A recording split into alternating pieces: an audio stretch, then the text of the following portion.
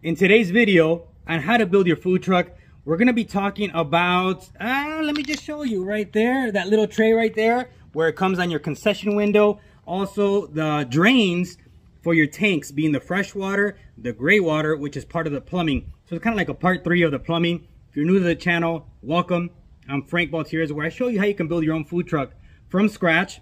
And in the past two videos, we've been talking about the plumbing, but we do take what you see behind me being an empty trailer. This is 7 by 16 We named her Big Red, and uh, we converted it into a full kitchen on wheels. The only thing missing is the cooking equipment right here because it is for sale. So it's semi-customizable for anybody that wants to buy it. It's still for sale. And uh, I've also been working on this little contraption that I have here. This is going to be on the next video, so come back and make sure that you join me for that. Uh, if you're new to the channel, as I said, welcome. And if you've been a fellow subscriber, hopefully all these videos have helped you out. But as you can see, this little mess right here is actually going to serve all our cooking equipment with all these separations of ball valves. And uh, we're going to connect our flex hoses on there. And also want to make sure that I tell you, you got to buy these two things right here. I'll link them in the description.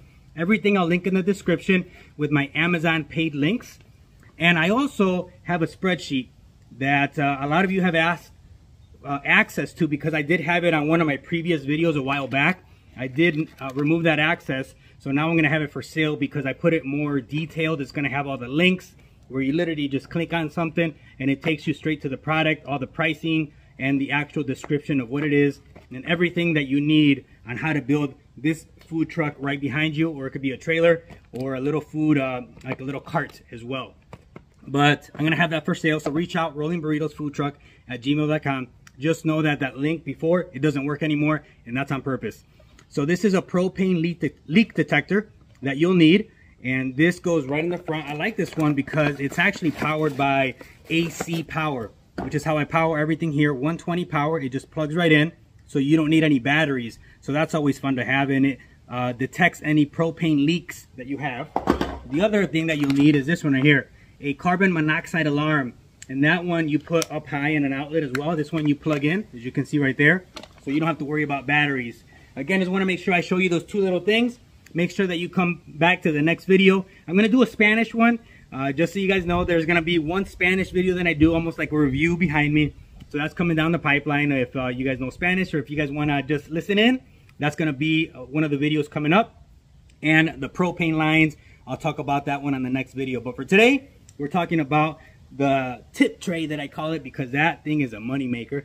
The drain valves and every question that you have, drop it in the comments because I answer each and every one myself.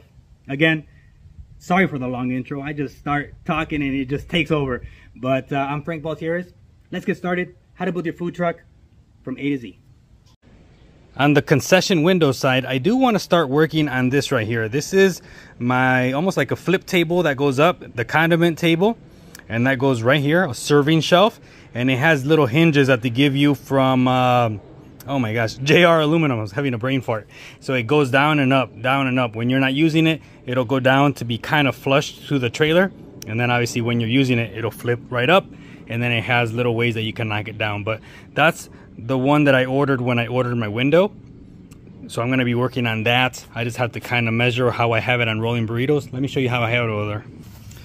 Right here you can see how I have it on my trailer and all you do just like that you flip it up and then down here these are the hinges I was telling you you press one side you press the other side and then it rolls down and that's the little condiment table where you can put like your napkins your tip jar and all that fun stuff let me tell you a little bit more details on the installation of the window tray where you can put your tip jar. That is the biggest thing that you can put out there because it'll produce you the best results. Trust me, you need a tip jar. Uh, so what I did here is that these brackets are the ones that come from Class A Customs. So you don't have to ask them for anything special. It literally comes with that tray that I just showed you. I have to take some measurements. That's all you do. Make sure that it's even on both sides. You can put it as high or as low from the window as you want to. I did it exactly the same on both sides. And what I do is I use these bolts right here. Let me show you. These stainless steel bolts, bolts and I go through the whole trailer. Uh, one time I did try, I have to make this hole a little bigger actually. One time I tried um, to use a screw and put it on the stud. That's why I left the blue tape here. Those are the studs, the actual like stud studs. You don't want to use it onto the onto just the aluminum. You want to put onto something solid. So that's why you use a stud. Also, what I was saying is I used to use a screw, a self-tapping screw, and I just felt like it didn't grab as well. So now I go all the way through to the trailer. Let me show you how it looks on the inside of the trailer. But that's how that is right there. And then I just drill all the way across. I'm gonna show you.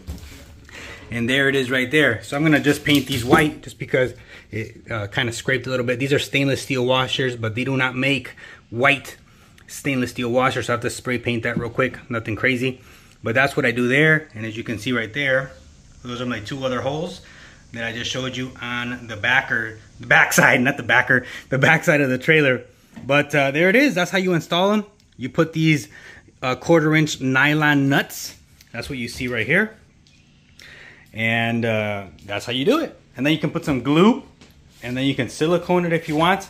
I put some glue on there. Let me see if it's right here. Nope, it's not there. Where is it? Oh, it's right here. That's what I use, just glue. That way it grabs a little bit more onto the trailer skin. So there you go. That's how you install this little trailer tray, the concession tray. I like to call it the tip tray because that's what I put on there is my napkins and my tip jar.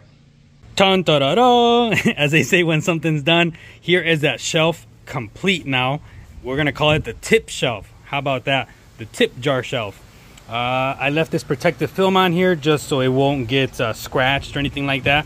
But you just lift it just like that on this side. You come over here, you do that. That would be every time you're parked and serving, you would just do that. And then when you're done, you just come here, you press this, you press this one, and there you go. As you can see back here, I did put a little bit of glue. That way it has a nice adhesion to the trailer skin.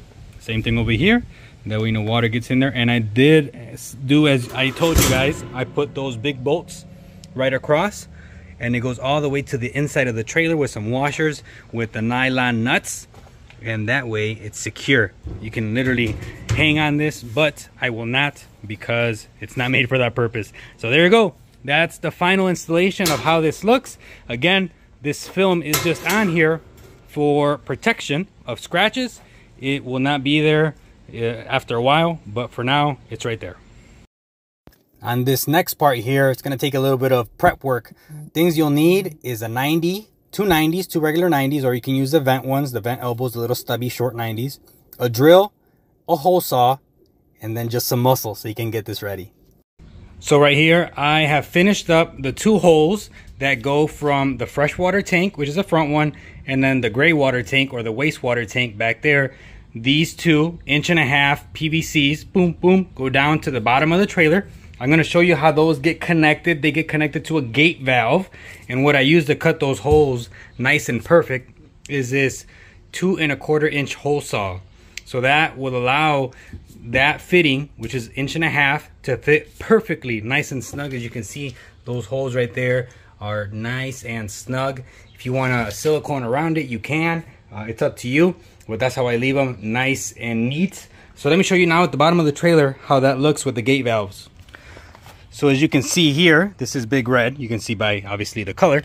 There is nothing down here right now that I can show you that I have completed. So I'm to be working on it. These are the two holes that I just showed you up top right there.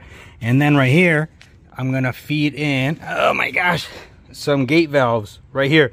Let me show you how it looks on Rolling Burritos, which is right next to me. But this is where those two gate valves are going to go. And I just feed it off inch and a half PVC. But let me show you these two how it looks. This is it right here. These are the two gate valves. They are made by Fair, no, Valterra. Sorry, Valterra is who makes these right here. This is, I'll show you the exact product of what it's called, but just these are the gate valves. I got two of them, and then a water hose or a garden hose get, gets connected to these, and then you can drain your tanks out. Very easy. It's nice. But those are the, how it's gonna look right there. Obviously this is my trailer, but these are how that's gonna look on Big Red. Before I finish up the setup that I was showing you right here, one of them is done right there. And let me show you the parts that I use. This one is the Valterra Gray Water 90 degree drain connector. And as you can see there, it fits into a three quarter inch hose. So that's what these threads are for right there. It's for a three quarter inch hose that you can hook up to drain out your water if you want to uh, take it straight out to your commissary. And then this is that Valterra inch and a half gate valve that you open this up and then that lets all the water out. Ow! One-handed. Let me see if I can do it. There it is. That lets all the water out whenever you want to dump out your tanks. So that other one's going to be right there. And as you can see, that's how I did it. I'm going to strap it right here. I'm going to put a strap, a stainless steel strap right there so it can hold that inch and a half PVC nice and tight to the frame with the little screw. But these are the parts that I use. Some glue, the Valterra uh, 90 degree drain connector, the gate valve, there's my fusion glue, and then some inch and a half PVC. So there it is. That's my setup on how to drain the tanks. Let's check out the final product of how this looks. The final installation. I just finished it up right now. I'm big red as you can see right there. These are the two gate valves, the inch and a half gate valves that get connected to that drain connector. Again, this is that little piece right there. 90 degree drain connector because you can hook up the hose to this and it's so easy to dump the water. As you can see here, it comes right from underneath the trailer. Let me get the camera in there. From underneath the trailer. From the tanks, it goes right into this 90, this little vent elbow, vent 90, and then that goes into this PVC, and then that comes over to the gate valve, and as you can see here, it has the, the gate, and then that lets out your water. This one's the fresh water, and then this back one right here is the gray water, right there. And then you can just let out your water when it gets dirty, and that's the setup. Pretty easy, straightforward. And uh, this is all I used, the Valterra gate valve, some PVC, and then right here, it's a nice clean installation. I just love how this looks. It works perfectly for my food truck being rolling burritos when I have to fill and when I have to dump the water. So if you guys like the setup, that is how we do it. Pretty easy, straightforward, as I mentioned. And I know you guys can do this. So that's all you need. Some inch and a half PVCs, this little bad boy, and then the gate valve right there.